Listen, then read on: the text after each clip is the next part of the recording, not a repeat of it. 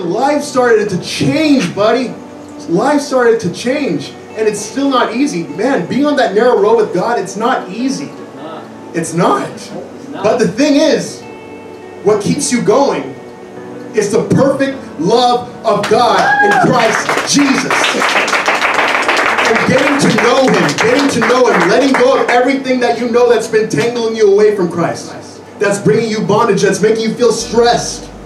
He wants to bring you to an upward call. He wants to bring you to that upward call, that place that He has destined, predestined you from the beginning of the foundation of the world. He wants to take you there.